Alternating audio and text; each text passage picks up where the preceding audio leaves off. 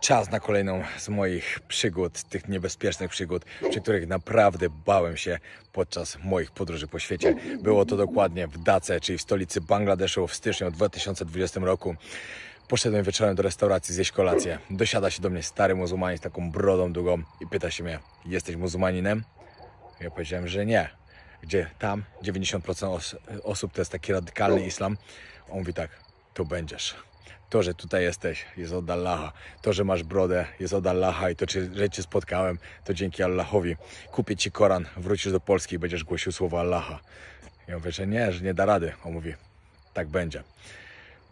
Czułem, jak pot spływa mi tak ze stresu. Naprawdę, uwierzcie mi, że wtedy się bałem, że coś mi zrobią. Po 15 minutach zadzwonił mu telefon. Szybko stamtąd uciekłem. I kolejne dni, które musiałem spędzić w tym kraju, już nie były takie kolorowe. Także po więcej subskrybuj kanał Podróże Wojownika.